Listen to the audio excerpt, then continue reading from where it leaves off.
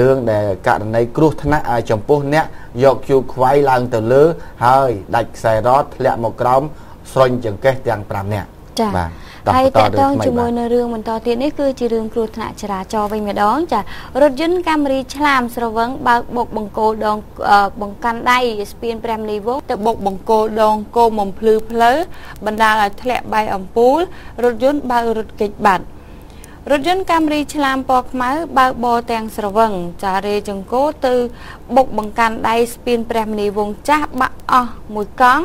និងរេចង្គោជ្រុលទៅបុកបង្គោលដងគោមបំភ្លឺផ្លូវធ្វើឲ្យធ្លាក់អំពូលខ្សាច់ខ្ចាយរីឯរថយន្តបង្កបានរត់គេចបាត់ ហេតុការណ៍នេះកើតឡើងនៅវេលាម៉ោង12:10នាទីរំលងអត្រាធានចូលថ្ងៃទី31ខែតុលា នៅខាងកើតគុលស្ពានព្រះមនីវងចាស់ក្នុងសង្កាត់ច្បារអំពើ2ខណ្ឌមានជ័យបើតាមសាកសីដែលបានឃើញហេតុការណ៍បានឲ្យដឹងថាមុនពេលកើតហេតុរថយន្តកាមេរីឆ្លាមពណ៌ខ្មៅបើកឆ្លងកាត់ស្ពានព្រះមនីវងថ្មី ដល់គល់ស្ពានខាងកើតទៅហើយ បានបួងចង្កូតបត់ឡើងទៅស្ពានព្រះមនីវងចាស់វិញ ក្នុងស្ថានភាពនោះស្រវឹងផងដែរដែលបួងចង្កូតមិនទាន់ណាក៏ជ្រុលទៅបុកបង្កាន់ដៃស្ពានព្រះមនីវងចាស់ហ្នឹងបាក់អស់មួយមួយកង់និងរេចង្កូតទៅបុកបង្គោលដងគោមបំភ្លឺផ្លូវ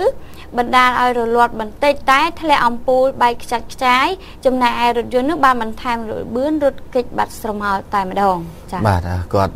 ទៅបុកទៅស្ពាននឹងតែហ្មងបាទប៉ុន្តែសូមបញ្ជាក់បន្តិចនៅស្ពានព្រះមនីវងនិងស្ពានព្រះមនីវងថ្មីហ្នឹងគឺតាមពិតទៅដែលអ្នកដែលមកពីខាងទិសពីភ្នំពេញឆ្លងកាត់តាមស្ពានថ្មីខាងស្ពានព្រះមនីវងខាងថ្មីបាទអញ្ចឹងត្រូវបត់ឡើងមកវិញអញ្ចឹងអ្នកដែលត្រូវចូលមកផ្សារច្បារអំពៅ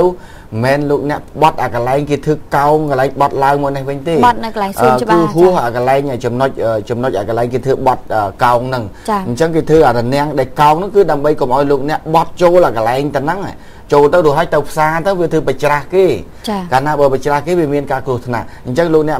ត្រូវហួសទៅដល់ខាងមុខដែលមានផ្លូវមកពីខាងព្រែកប្រាវិញហ៎ចាបាទមកពីខាងនោះវាឲ្យយើងបត់មានផ្លូវប្រឡោះកន្លែងសួនច្បារហ្នឹងហើយលោកអ្នកខ្លះគាត់មកបត់អាកន្លែងផ្លូវចូលអាផ្លូវចូលកន្លែងគល់ស្ពានហ្នឹងគឺគេបត់ឡើងមកនេះទេគេបត់ឡើងមកខាងភ្នំពេញវិញទេតែដល់លោកអ្នកមកបត់អាកន្លែងហ្នឹងចូលទៅខាងផ្សារ វាធ្វើឲ្យបច្ច្រាស់គេហើយវាអាចមានគ្រោះថ្នាក់កើតឡើងប៉ុន្តែបើសិនជាអ្នកដែលធ្វើដែលខ្ញុំនិយាយនេះសម្រាប់អ្នកនៅភ្នំពេញគាត់ធ្វើដំណើរកន្លែងក្នុងបានយល់ប៉ុន្តែសម្រាប់លោកអ្នកដែលរស់នៅតាមខេត្តគាត់មិនយល់ទេមិនស្ពាននីវងនៅតាណាបាទចាប៉ុន្តែឥឡូវនេះសូមជួបជាមួយដៃគូយើងបន្តិចសិនលោករទ្ធីមុននឹងប៊ីនឹងជម្រាបជូនពាក់ព័ន្ធជាមួយនឹងព័ត៌មានគ្រោះថ្នាក់ចរាចរណ៍បន្តទៀតចា បាទវិលមកជួបគ្នាបន្តនៅព័ត៌មានជាមួយខ្ញុំទាំងពីរអ្នកទៀតតាមពិតត្រូវបន្តនៅព័ត៌មានគ្រោះថ្នាក់ចរាចរណ៍បន្តទៀតប៉ុន្តែឥឡូវនេះសូមសូមតាមជូនទៅសំណុំពរប្រជាពលរដ្ឋមួយសិនចា៎សំណុំពររបស់ប្រជាពលរដ្ឋដែលផ្ដល់ព័ត៌មានមកកម្មវិធីហងមាសកុំអោយថាគាត់ស្នើសុំមកហើយអត់ជំរាបជូនឲ្យដឹងចា៎បាទអ្នកភូមិនៅខាងសំរោងក្រោមបាទឃុំសង្កាត់សំរោងក្រោមខណ្ឌពោធិ៍សែនជ័យ បាទបានជូនដំណឹងនឹងជំរាបមកកម្មវិធីហងមាសព័ត៌មានរបស់យើងប្រាប់មកយើងណាថាសូមឲ្យខាងហងមាសនឹងជួយជូនដំណឹងនេះទៅដល់ថ្នាក់ដឹកនាំខាងលើផងផ្លូវផ្លូវកប់ស្រូវបាទន័យថាផ្លូវចេញពីសំរោងក្រោមនឹងទៅកប់ស្រូវបាទន័យថាបត់ចេញពីចោមចៅចោមចៅមកដោយហើយបត់ចូលមកផ្លូវកប់ស្រូវនឹងឥឡូវនឹងคลายទៅជាផ្លូវទៅឋាននរកហើយ ចាគាត់ប្រាប់អញ្ចឹងមិនដឹងជាផ្លូវទៅឋានរត់ដឹងមិនណាចាវាអញ្ចឹងវាអញ្ចឹងវាហយអីអញ្ចឹងបាទគាត់ឡើងទៅផ្លូវទៅឋានរត់តែផ្លូវអញ្ចឹងវាកលុកអីច្រើនអញ្ចឹងណាលោកធីចាទៅទៅឋានរត់អត់មានឡានកុងតឺន័រអញ្ចឹងទេចាបាទគាត់ថាយាយលេងសាយអីគាត់សំណូមពរថាសុំឲ្យខេងលួចជូនដំណឹងនេះដឹងដល់ថ្នាក់ដឹកនាំខាងលើផ្លូវដែលចេញពីពីពីពីចោមចៅទៅមិនមែនអានឹងចំពូវ័ន ខាងលិចខាងលិចផ្សារចម្ពូវ័នហ្នឹងរួចហើយបត់ឡើងមកកប់ស្រូវនេះគឺរូបភាពនេះគឺនៅកន្លែងចំណុចភូមិសំរោងក្រោមសង្កាត់សំរោងក្រោមដែលជាប់នឹងផ្លូវរទេះភ្លើងបាទខណ្ឌពោធិ៍សែនជ័យផ្លូវហ្នឹងគឺវេទនាមែនតែនគឺថាកាលពីមុនគាត់លើកឡើងថាកាលពីមុនសម្ដេចដេជោធ្លាប់តែឆ្លងកាត់ផ្លូវហ្នឹងទៅវាយគោល ចាអញ្ចឹងផ្លូវនោះស្អាតហ្មងទៅវាយគោលលើកន្លែងនោះដូចជាអត់សូវអីបាទដូចល្អឥឡូវនេះដល់ពេលសម្ដេចលេងទៅវាយគោលនៅកន្លែងនោះហើយឥឡូវនោះផ្លូវនោះទៅ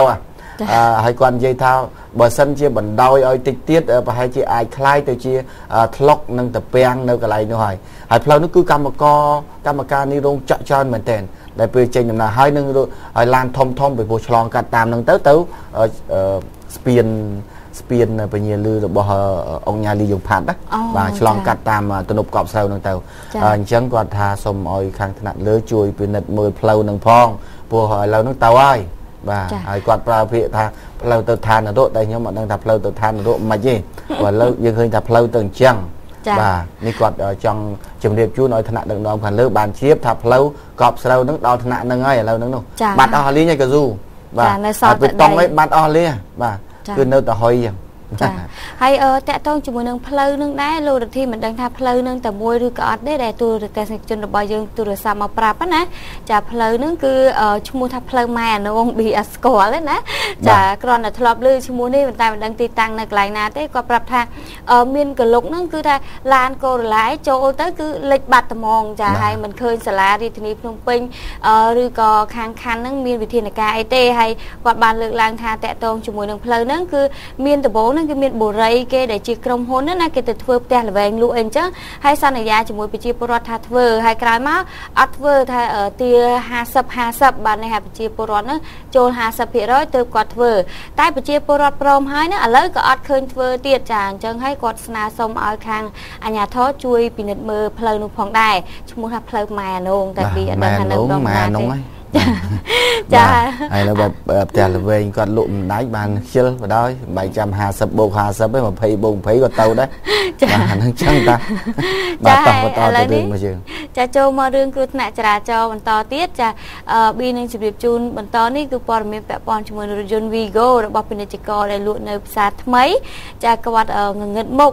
ហើយក៏បានបើករថយន្តរបស់គាត់នឹងចូលទៅបុកផ្ទះអ្នកលក់បាយនិងកាហ្វេចារងរបួសធ្ងន់នឹងស្រាលចំនួន 6នាក់ផងដែរត្រូវការកាហ្វេដែរក៏មិនដឹងដែរចាយ៉ាងហោចណាស់រងរបួសធ្ងន់នឹងស្រាល6នាក់ក្នុងនោះមានស្ត្រីម្នាក់ដែលរងរបួសធ្ងន់ខណៈពេលដែលតកង់រថយន្ត Vigo អះអាងថាងងឹតមុខហើយរេចង្កូតចូលទៅផ្ទះលក់បាយនិងកាហ្វេចាដែលមានលក់ចាប់ហួយផងនោះនឹងជួសជុលម៉ូតូដែលមានទីតាំងនៅជាប់របងខាងត្បូងស្ថានីយ៍ទូរទស្សន៍ប៉ូលី3ត្រង់ចំណុចផ្ទះលេខ255ផ្លូវ598ក្រុម12ភូមិទួកោកសង្កាត់ទួសង្កែខណ្ឌឫស្សីកែវនៅវេលាម៉ោង12និង40នាទីថ្ងៃត្រង់ថ្ងៃទី30ខែតុលាឆ្នាំ2012នេះបើតាមសម្ដីរបស់ម្ចាស់រថយន្តបង្កនិងជាអ្នកបើកបររថយន្ត Vigo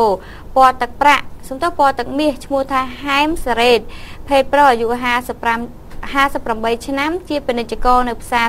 ភូមិថ្មី និងស្នាក់នៅបុរីទួលសង្កែនៅក្នុងសង្កាត់សំទោសនៅក្នុងភូមិបឹងសាឡាសង្កាត់ឫស្សីកែវខណ្ឌឫស្សីកែវបានឲ្យដឹងថាមុនពេលកើតហេតុហ្នឹងគឺគាត់បានបើករថយន្តចេញពីផ្សារថ្មីក្នុងបំណងឆ្ពោះទៅបុរីរបស់គាត់ហើយតាមបណ្ដោយផ្លូវលេខ598ក្នុងទិសដៅពីត្បូងទៅជើង ខណៈដល់ចំណុចខាងលើនោះគាត់ស្រាប់តែងងឹតមុខបណ្ដាលឲ្យរេចង្កូតទៅ ខាងឆ្វេងដៃហើយបុកចូលផ្ទះអ្នកលក់បាយនិងកាហ្វេនោះតែម្ដងទៅ ហើយផ្ទះដែលរថយន្ត Vigo នោះអឺបុកនោះគឺជាផ្ទះលក់បាយកាហ្វេនិងលក់អីវ៉ាន់ចាប់ហួយព្រមទាំងជួសជុលម៉ូតូដោយមានតដំបូលយ៉ាបហ្នឹងចេញមកខាងក្រៅផ្ទះហ្នឹងធំហើយត្រូវរថយន្តនោះកិនរបស់របរនៅខាងមុខហ្នឹងខូចតិចទីអស់ ជាច្រើនផងដែរហើយនឹងបង្កឲ្យមានអ្នករងរបួសធ្ងន់ម្នាក់និងរងរបួសស្រាល5នាក់ហើយបើតាមដែលគេដឹងអ្នកដែលរងរបួសធ្ងន់នោះគឺឈ្មោះថាគង់សុជាតិភេទស្រីអាយុ18ឆ្នាំ ដែលជាអ្នកលក់បាយកាហ្វេនៅផ្ទះខាងលើហើយចំណែកឯ5នាក់ទៀតរងរបួសស្រាលនោះគឺកំពុងតែអង្គុយផឹកកាហ្វេពុំបានស្គាល់អត្តសញ្ញាណទេប៉ុន្តែទំនងជាបុគ្គលិករបស់ស្ថានីយ៍ទូរទស្សន៍ប៉ុស្តិ៍លេខ3ហើយជនរងគ្រោះចាទាំងអស់នឹងត្រូវបានបញ្ជូនទៅមន្ទីរពេទ្យដើម្បីព្យាបាលចាដោយឡែកមានតែពីរអ្នកទេបញ្ជូនបញ្ជូនទៅ clinic ឯកជនចា គាត់មើលមុខបាទចាហើយចំណាយឯតែកង់រថយន្តនេះគឺត្រូវសមត្ថកិច្ចខាត់ខ្លួននៅនឹងកន្លែងកើតហេតុរួមជាមួយនឹងរថយន្ត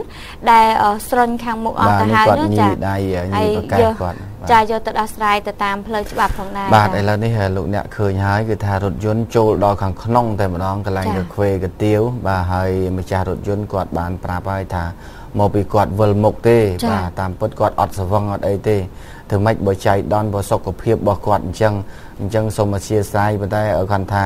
អធិស្ឋានហ្នឹងគាត់ថាគាត់ត្រូវសំណងទៅលើខាងម្ចាស់ផ្ទះដែលគាត់ខូចខាតនោះហើយបាទហើយយើងចេះនិយាយលេងសើចតែតិចឡានហ្នឹងក៏ត្រូវការកាខ្វេកាទៀវដែរហ្នឹងបានរត់ចូលទៅប៉ុន្តែសំណាងឲ្យដែលមិនមានគ្រោះថ្នាក់ដល់រហូតដល់ជីវិតមនុស្សនោះប៉ុន្តែឥឡូវនេះគាត់ក៏បានសូមអភ័យទោសចំពោះកំហុស ឆ្គងដោយអចេតនាដោយសារតែគាត់មានការវិលមុខនៅពេលបើកហ្នឹងគឺ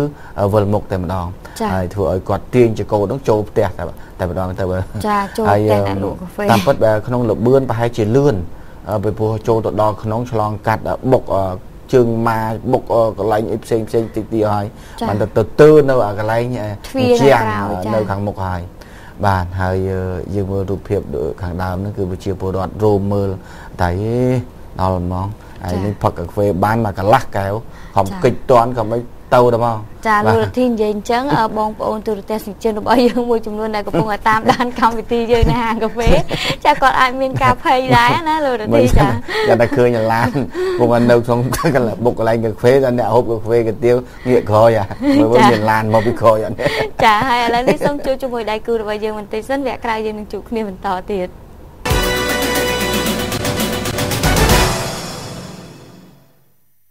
បាទបន្ទាប់ពីសម្រាប់ដាក់កាហ្វេខ្មៅមួយកែវមកដល់ម៉ោងព័ត៌មានម៉ោងចា៎បាទបន្តទៀតបាទមិញនេះព័ត៌មានតកតងនឹងរឿងរថយន្តចូលហាងអឺសំទោសចូលតូបកាហ្វេមិញណាចា៎បាទដែលជាជាការជូនព័ត៌មានមួយ សម្រាប់ដល់បងប្អូនដែលតែងតែនិយមហូបកាហ្វេឬក៏កាទៀវដែលនៅតាមចិញ្ចើមផ្លូវណាបាទបើថាបានជាហូបហើយមិនមែនថាឲ្យឈប់ទេ តាសាងាកក្រោយផងចាំមិនមែនរត់តសាមើលមកផ្លូវផងឡាញ់ចឹងចាគាត់វិលមុខទៅម៉េចបាទមានចង់ឲ្យទៅចូលផឹកកាហ្វេណាបាទតាមពិតត្រូវមនុស្សទេដែលត្រូវចូលផឹកតែមិនឲ្យចូលទាំងឡានទេណាតែបើចឹងបាទអញ្ចឹងជាការជូនដំណឹងឲ្យប្រយ័ត្នតាហូបមក ក្រេបបន្តិចទៅងើបមើលលើទៅមើលឆ្វេងមើលស្ដាំចាអញ្ចឹងទៅងាកមកក្រោយអញ្ចឹងទៅចាហើយឥឡូវនេះចាព័ត៌មានបន្តទៀតដែលប៊ីនឹងជម្រាបជូនចាលោករទ្ធីគឺព័ត៌មានតកតងជាមួយនឹងស្ត្រី ស្វិតជើងជិះម៉ូតូដប់ហើយត្រូវបានជន់សង្ស័យ4នាក់ជិះម៉ូតូគៀបដួលរួចក៏ឆក់ខ្សែកតែឆក់បានតែទំពុកខ្សែកទេគាត់ស្វិតជើងហើយមកមកគៀបឲ្យស្វិតមកខាងទៀត ចាអឺឆក់គាត់ទៅមិនចោលនឹងអត់មាននឹកឃើញថាអាណិតអាសូរដល់អ្នកពិការទេយ៉ាងម៉េចចាគាត់ឃើញតែផ្លាក់ទីនតែពាក់តែគាត់តែបើសិនជាចាប់គាត់បានប្រហែលជាគាត់ឲ្យថាអេបើសិនជាខ្ញុំធ្វើជាអ្នកអាណិតអ្នកដតីធ្វើចោលធ្វើអី ចាអញ្ចឹងបានថាតដៃចាហេតុការហេតុការនេះគឺកើតឡើងនៅវេលាម៉ោង11:55នាទីយប់ថ្ងៃទី30ខែតុលានៅមុខវិទ្យាស្ថានវណ្ដាកណន័យតាមវិថីម៉ៅសតុងក្នុងសង្កាត់ទួលស្វាយព្រៃទី1ខណ្ឌចំការមនចាហើយបើតាមអ្នកដែលដែលអ្នកដែលជាអ្នករត់ម៉ូតូដុំនឹងគាត់បានលើកឡើងថាអញ្ចេះលោករទ្ធីគាត់នឹងគឺជាទូទៅស្មោះនឹងគាត់តែងតែដឹកម៉ួយចេញពីកោះពេជ្រដែលម៉ួយគាត់នឹងគឺជាអ្នក វាហាជាអាជីវករគប់ពេទ្យប៉ោងណាចាហើយគាត់ចាទៅលើកលើកគាត់ផងហេចាខ្ញុំជួយលើកគាត់លើកឥឡូវហើយចាហើយគាត់ហ្នឹងគឺមានពាក់ខ្សែកចាស្ត្រីដែលស្វិតជើងនេះពាក់ខ្សែកផ្លាទីន 4G ចំណែកឯក្មួយស្រីម្នាក់ទៀតហ្នឹងគឺជិះពីក្រោយខណៈពេលដល់ចំណុចការហែកហ្នឹងអើអើអ្នកសារព័ត៌មានដែរអូមែនទេចាគ្នាគាត់តាចាបងប្អូនគាត់ទេមើលទៅ ជួយគាត់ទៅអស់ខ្សែកឥឡូវហ្នឹងចាអត់អស់ទេខ្សែកហ្នឹងបានតែទំពួកឯងអូបានទំពួកឯងចាចាឲ្យឆក់ទៅបានតែទំពួកឯងខ្សែនៅដៃគាត់ឡើយទេចា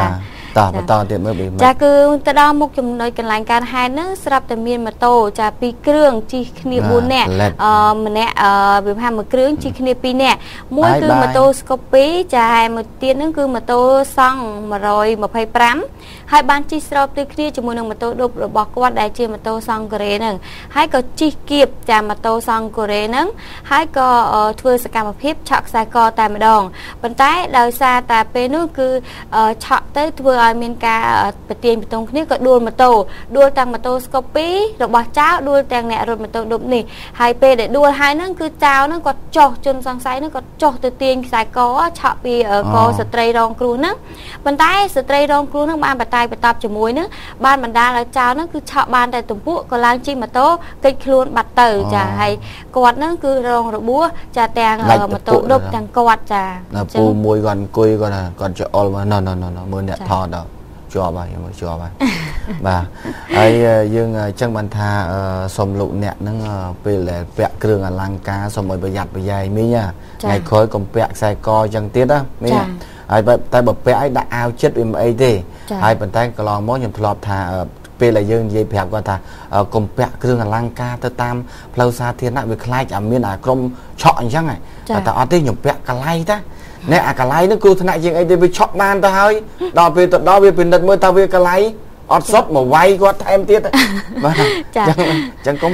អាកន្លែងទៅបាទបើកាលណាបើសិនជាក្រុមចៅវាមិនបានពិនិត្យថាហ្នឹងសុតមិនសុតទេឲ្យតែថាឃើញនៅលើកកគឺថាឆក់យកតែម្ដងចាអញ្ចឹងហើយបានជាខ្ញុំតែងតែសង្កេតហើយនិយាយលេងសើចថាខ្ញុំឃើញស្ត្រីខ្លះឥឡូវគាត់អត់សូវពាក់ខ្សែក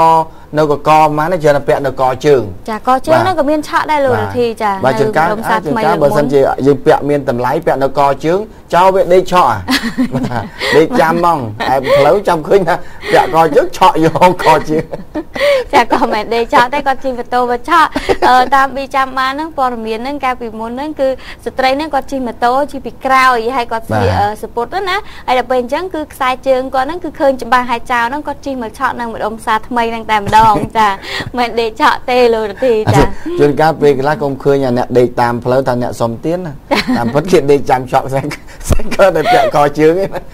ចាហើយឥឡូវនេះមកព័ត៌មានរបស់យើងបន្តទៀតចាតកតងជាមួយនឹងប៉ាសេរ៉ូរុលទៅបុកលុច COX 350ដែលទៅនឹងកំងទិញក្នុងតម្លៃ70000ដុល្លារចារថយន្តប៉ាសេរ៉ូពណ៌ទឹកប្រាក់ ឆ្នូតពណ៌ទឹកប៊ិចបុករថយន្ត Lucy OX 350ពណ៌ស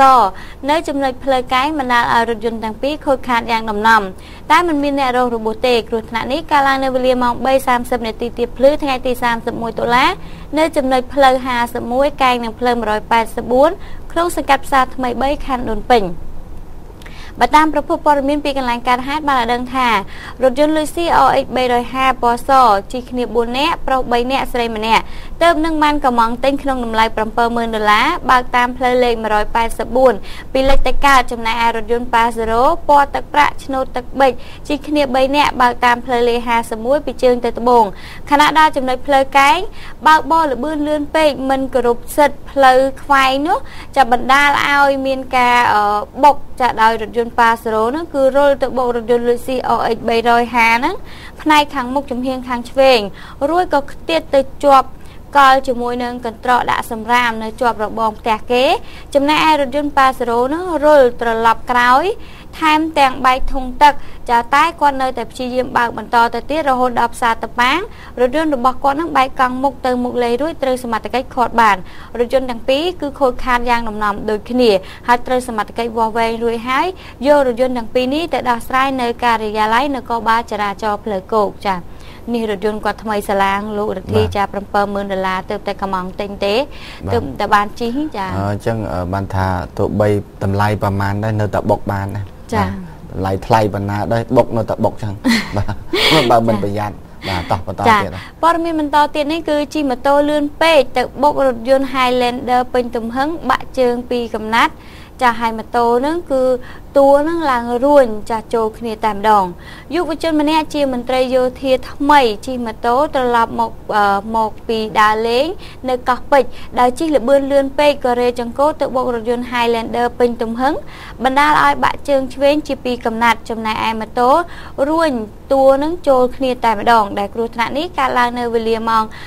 9:30នាទីយប់ថ្ងៃទី30ខែតុលាតាមវិធីសុធារស់ ក្នុងភូមិ8សង្កាត់ទន្លេបាសាក់ខណ្ឌចំការមនបើតាមសាកសីដែលឃើញហេតុការណ៍បានឲ្យដឹងថាមុនពេលកើតហេតុម៉ូតូស្មាស់វីពណ៌ខ្មៅបើកបរដោយយុវជនឈ្មោះថាសនតារាអាយុ21ឆ្នាំជាមន្ត្រីយោធានៅបន្ទាយថ្លុកត្រសេកហើយមានទីលំនៅនៅភូមិកោះក្របីភូមិព្រែកថ្មី ស្រុកគៀនស្វាយខេត្តកណ្ដាលបានជិះម៉ូតូត្រឡប់មកពីដើរលេងជាមួយមិត្តភ័ក្តិនៅកោះពេជ្រក្នុងទិសដៅពីជើងទៅត្បូងចំណែកឯរថយន្ត Highlander ពណ៌ខ្មៅបើកបរពីត្បូងទៅជើងខណៈដល់ចំណុចខាងលើស្រាប់តែម៉ូតូបើកល្បឿនលឿនពេកក៏រេចង្គោទៅបុករថយន្តពេញទំហឹងបណ្ដាលឲ្យបាក់ជើងខាងឆ្វេងជាពីរកំណាត់ចំណែកម៉ូតូតួនឹងរួញចូលគ្នាតែម្ដងក្រោយពេលកើតហេតុ ជនរងគ្រោះត្រូវបានរថយន្តដឹកទៅគ្លីនិកឯកជនចំណែកម៉ូតូនិងរថយន្តត្រូវបានសមត្ថកិច្ចធ្វើការវាស់វែងនិងយកទៅរក្សាទុកនៅខណ្ឌចំការមនផងដែរ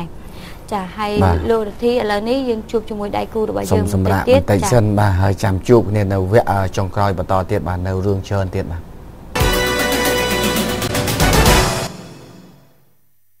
បាទវិលមកជួបគ្នាវិញបាទក្រោយពេលយើងសម្រាករយៈពេល1នាទី ចាតោះបន្តទៅទៀតរឿងនៅវិញ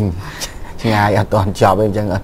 ដល់ម៉ោងផងមិនទាន់មិនទាន់ដល់បញ្ចប់នេះបាទព័ត៌មានមួយទៀតនេះគឺពាក់ព័ន្ធជាមួយនឹងព័ត៌មានចាសន្តិសុខគឺទៅអង្គុយផឹកស្រាហើយក៏ស្រែកលោឡាហៅឲ្យគេបើកទ្វារហ្នឹងបណ្ដាលឲ្យមានចំនួនជាមួយអ្នកចិត្តខាងហ្នឹងត្រូវបានគេវាយមួយដបហ្នឹងចាំមួយដំបងចាធ្លាក់ពីលើម៉ូតូសន្លប់ធំបុរសម្នាក់ជាអ្នកលក់ផ្លែឈើតែងតែអង្គុយផឹកស្រានៅមុខផ្ទះលក់ទ្វារបង្អួចតែចៃដន្យម្ចាស់ផ្ទះអត់នៅចេះតែស្រែកហៅឲ្យបើកទ្វារធ្វើឲ្យរំខានដល់អ្នកចិត្តខាងក៏មានចំនួនរហូតដល់គេវាយនឹងដំបងហើយដំបងនោះគឺដំបងឫស្សីប៉ិនកដៃនឹងបណ្ដាលឲ្យធ្លាក់ពីលើម៉ូតូសន្លប់ដឹកទៅព្យាបាលនៅគ្លីនិកឯកជន ដែលហេតុការណ៍នេះកើតឡើងនៅវេលាម៉ោង11យប់ថ្ងៃទី30ខែតុលានៅមុខផ្ទះលក់ទ្វារបង្អួចផ្លូវលេខ355 ក្នុងសង្កាត់បឹងកក់1ខណ្ឌទូកោកបើតាមប្រភពព័ត៌មានបានឲ្យដឹងថាជារៀងរាល់ថ្ងៃឈ្មោះថេងមូលាអាយុ38ឆ្នាំមុខរបរជាអ្នកលក់ផ្លែឈើស្នាក់នៅភូមិទូកោកសង្កាត់ទួលសង្កែខណ្ឌឫស្សីកែវនោះ បានជិះម៉ូតូសេ125 ស៊េរី2010ពណ៌ខ្មៅទៅឈប់មុខផ្ទះលក់ទ្វារបង្អួយអង្គុយផឹកស្រាដោយស្គាល់រាប់អានគ្នាជាមួយនឹងប្អូនប្រុសម្ចាស់ផ្ទះនេះហើយនៅយប់កើតហេតុបុរសនោះបានទៅដូចសពដង ហើយអង្គុយផឹកស្រាបណ្ដាស្រែកហៅឲ្យប្អូនប្រុសម្ចាស់ផ្ទះនេះបើកទ្វារតែប្អូនប្រុសនោះមិននៅផ្ទះទេទើបបុរសរងគ្រោះនេះ នៅតែដោយសារស្រវឹងនៅតែបន្តស្រែកហៅទៀតធ្វើឲ្យរំខានដល់អ្នកចិត្តខាងពេលនោះផ្ទះលក់ផ្ទះជួសជុលគ្រឿងអគ្គិសនីដែលនៅចិត្តនោះបានបើកទ្វារចេញមកប្រាប់កុំឲ្យស្រែកលោឡាព្រោះយប់ហើយស្រាប់តែបុរសនោះខឹងបានយកកំបិតចាលក់ផ្លែឈើហ្នឹងទៅគោះទ្វារផ្ទះជួសជុលគ្រឿងអគ្គិសនីនោះវិញលុះដល់ប្រពន្ធម្ចាស់ផ្ទះបើកទ្វារមក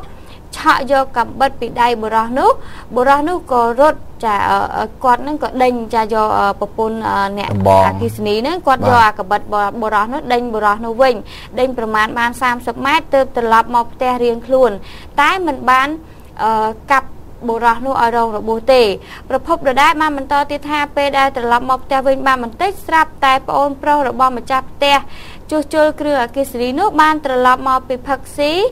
ឬសាច់ញាតិប្រាប់ដំណើររឿងដូចនេះហើយក៏បានយកដំបងប៉ិនកដៃប្រវែង1ម៉ែត្រនោះទៅលបវាពីក្រោយបរោះរងគ្រោះនោះបណ្ដាលឲ្យធ្លាក់ពីលើម៉ូតូសន្លប់ក្រោយការហេតុជនរងគ្រោះត្រូវបានបញ្ជូនទៅគ្លីនិកឯកជន ហើយសមត្ថកិច្ចបានប្រមូលវត្ថុតាងមានកំបិតមានដំបងនោះយកទៅរក្សានៅប៉ុស្តិ៍ទូកកតែភៀកគី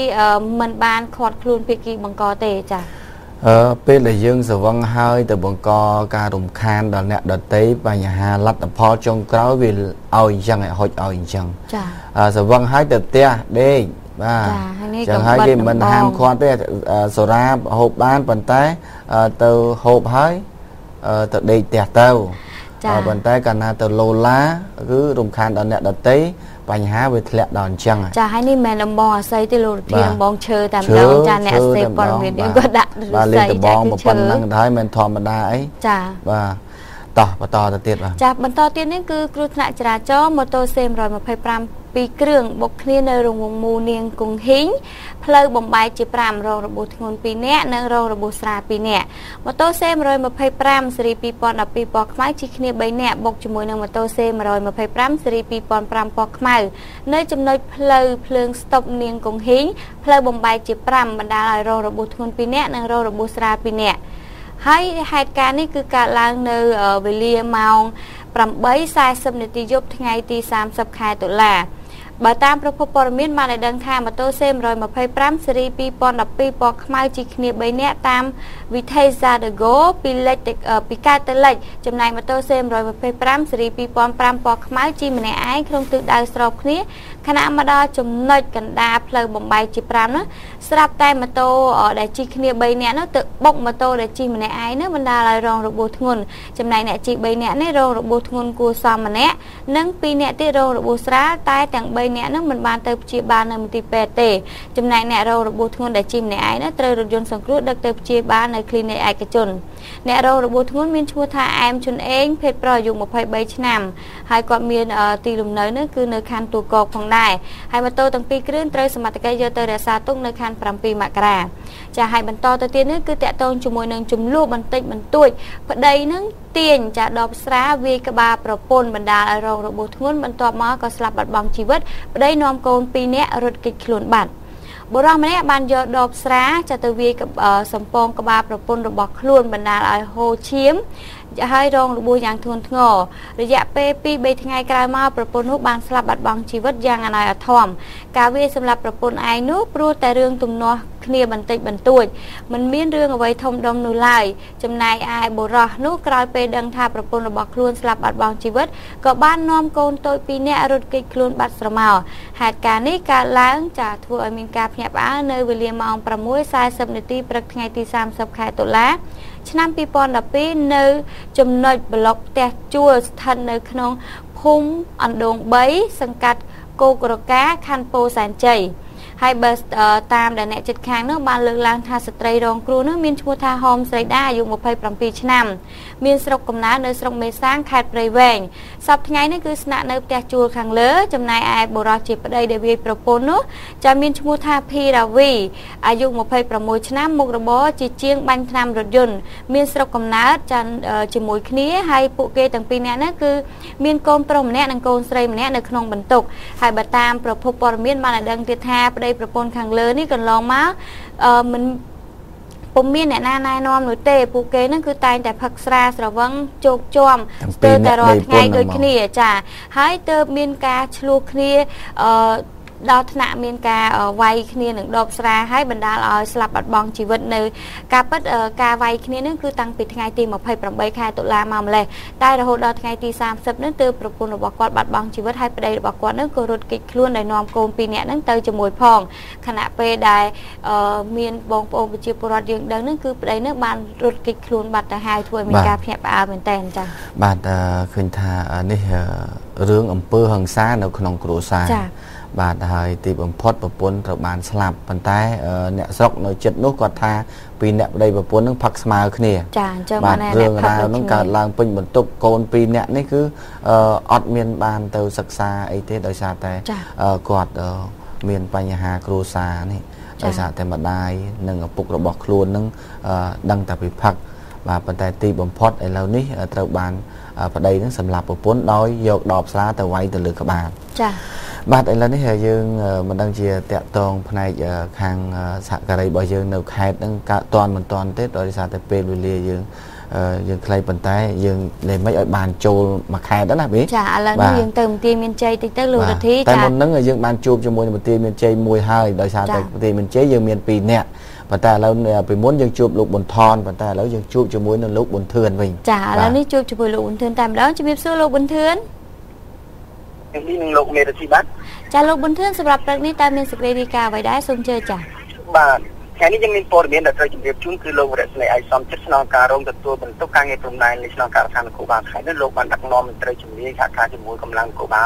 ការពារព្រំដែនគោកនឹងបានខាត់ពលករចំនួន97នាក់កាលពីថ្ងៃទី29ខែតុលាឆ្នាំ2012នេះដល់ដែលខាត់នោះគឺនៅក្នុងក្រុងម៉ាឡៃនិងក្រុងប៉ោយប៉ែនលោកក៏បានមិនអត់ហៅពេលដែលការអនុវត្តបង្ក្រាបពលករ ខ្មែរដែលខុសច្បាប់ដែលមានបំណង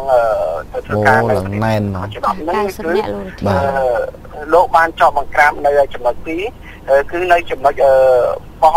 ស្វាយត្រីនិងស្ថិតនៅក្នុងឃុំអូសាឡាយស្រុកម៉ាឡៃនេះចំនួន74នាក់និងចំណុចដើមស្រល់ក្នុងបរិវេណកាស៊ីណូខាងក្រុងបៃតងនេះចំនួន23នាក់សរុបគឺចំនួន97នាក់ ពាក់ព័ន្ធនឹងបញ្ហាពលករខ្មែរខុសច្បាប់លោកខេងសុំស្នងការនគរបាលខេត្តក៏លោកបានលើកឡើងក្នុងកិច្ចប្រជុំមុខសរុបប្រចាំខែផងដែរថាដើម្បីឆ្លើយតបនឹងរឿងបញ្ហារឿងអវិជ្ជមានក៏ដូចជារឿងវិជ្ជមានពាក្យពន្ធដល់រឿងបញ្ហាការអនុវត្តបង្ក្រាបពលករខ្មែរខុសច្បាប់នោះកន្លងមកនឹង មានមន្ត្រីស្នងមន្ត្រីប៉ូលីសមួយចំនួននឹងត្រូវបាននៅក្រោយខ្នងបាត់ល្មើសខំតែលោកបានប្រមានថាបើសិនជាមានមន្ត្រីប៉ូលីសណាដែលនៅក្រោយខ្នងបាត់ល្មើសគួរតែដកខ្លួនចេញជាប្រញាប់បើសិនជាលោកលោកអាចដឹងនឹងលោកមានធានការអនុវត្តតាមផ្លូវច្បាប់លោកវុនធឿនសូមបញ្ជាក់បន្តិចបាទដើម្បីឲ្យច្បាស់ចំពោះអ្នកទស្សនារបស់យើងពួកគេទាំងអស់ហ្នឹងគឺគេត្រូវចេញពីកម្ពុជារបស់យើងទៅធ្វើការនៅក្នុងប្រទេសថៃមែនទេ បាទប៉ុន្តែពួកគេអត់មានលិខិតស្នាមអីច្បាស់លាស់ទេបានធ្វើឲ្យអាជ្ញាធររបស់យើងនៅតាមព្រំដែនហ្នឹងខាត់ពួកគាត់ត្រឡប់មកវិញមែនទេបាទពីពលរឿងបញ្ហាពលករទាំងនេះខ្ញុំសូមជម្រាបផងដែរភាគច្រើនពលករទាំងនេះគឺទៅតាមរយៈមេខ្យល់ដែលចូលតាមចររបៀងខុសច្បាប់ដែលលួចលាក់ចូលទៅធ្វើការភាគច្រើនទៅរកធ្វើការងារនៅប្រទេសថៃនៅប្រទេសបានៅបឹងកដែលធ្វើជាពលករសំណងដូចអីផ្សេងៗហើយក៏ដូចជាមួយចំនួនតូចហ្នឹងទៅព្រឹកវិលល្ងាច បាទក៏ប៉ុន្តែដល់ពេលការណែនាំពីខាងខេត្តក៏ដូចជាអគ្គស្នងការនគរបាលជាតិនឹងខាងស្នងការរង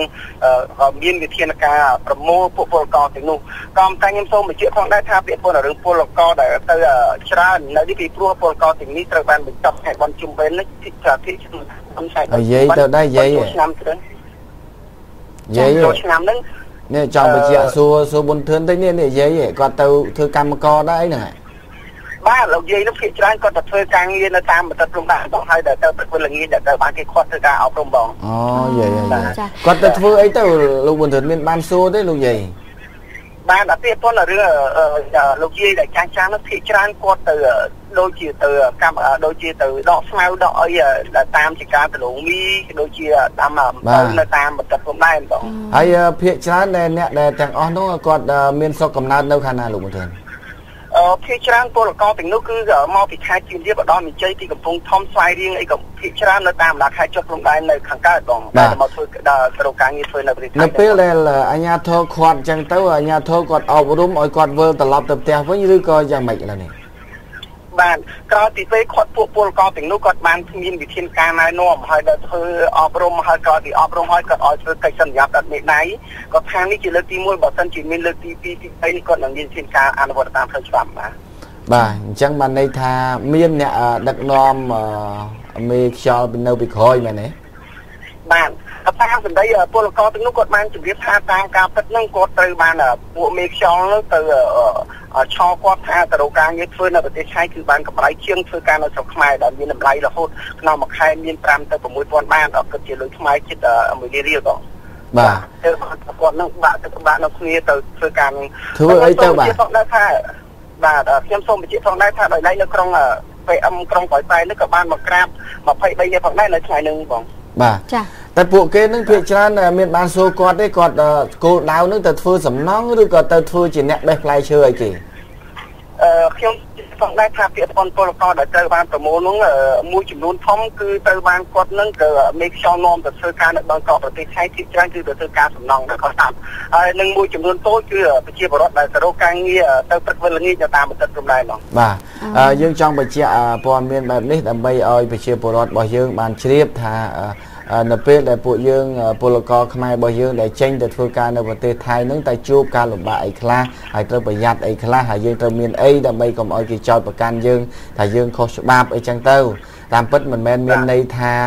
រដ្ឋាភិបាលទប់ស្កាត់មិនឲ្យប្រជាពលរដ្ឋខ្លួនឯងទៅធ្វើការនៅក្រៅប្រទេសទេ ប៉ុន្តែសូមឲ្យថាទៅនឹងឲ្យយើងមានលិខិតស្នាមឲ្យត្រឹមត្រូវជៀសវាងកុំឲ្យគេចោទថាយើងចូលគ្មានច្បាប់ទៅប្រព្រឹត្តបទល្មើសផ្សេងផ្សេងគេចាប់ដាក់គុកអានេះគេហៅថាធ្វើឲ្យទុកទោសដែលនេះកើតឡើងសម្រាប់ប្រជាពលរដ្ឋរបស់យើងហើយអពិបាកនៃការដោះស្រាយនេះគឺរដ្ឋាភិបាលយើងទេដែលត្រូវទៅដោះស្រាយមកវិញបាទអញ្ចឹងទេបើថាទៅទៅឲ្យមានលិខិតស្នាមឲ្យគ្រប់គ្រាន់តែប៉ុណ្្នឹងទេបាទប៉ុន្តែមិនមែនបានន័យថាហាមគាត់មិនឲ្យពលរដ្ឋរបស់យើងចេញទៅធ្វើការនៅក្រៅប្រទេសនោះឡើយ បាទអរគុណណាលោកមុនធឿនដែលបានធ្វើសេចក្តីរាយការណ៍តាក់ទងនឹងរឿងពលកររបស់យើងដែលចំណាក់ស្រុកបាទអរគុណសូមជម្រាបលាបាទអរគុណសូមជម្រាបលាបាទ ចាហើយសូមបញ្ជាក់ផងដែរសម្រាប់បងប្អូនប្រជាពលរដ្ឋដែលកំពុងស្វែងរកការងារធ្វើចាជៀសវាងការទៅធ្វើការងារខុសច្បាប់នៅឆ្លងទៅប្រទេសជិតខាងនោះសូមជម្រាបថានៅថ្ងៃទី2គឺមានពិធីចាពិព័រណ៍ការងារនៅឯកោះពេជ្រអាគារ AB ដែលលោកអ្នកជាពិសេសគឺអ្នកដែលកំពុងស្វែងរកការងារធ្វើអាចទៅរកការងារធ្វើដោយផ្ទាល់ជួបជាមួយនឹងចានយោជកដោយផ្ទាល់តែម្ដងចាដែលគាត់មានរើសបុគ្គលិកនៅនឹងកន្លែងអញ្ចឹងគឺអាចទៅមើលបាននៅក្នុងពិព័រណ៍នោះដើម្បីធ្វើការស្វែងរកការងារធ្វើចាហើយឥឡូវនេះដោយសារតែពេលវេលារបស់យើងចាដល់ពេលកំណត់ទៅហើយមុននឹងបញ្ចប់ទៅមិនភ្លេចទេ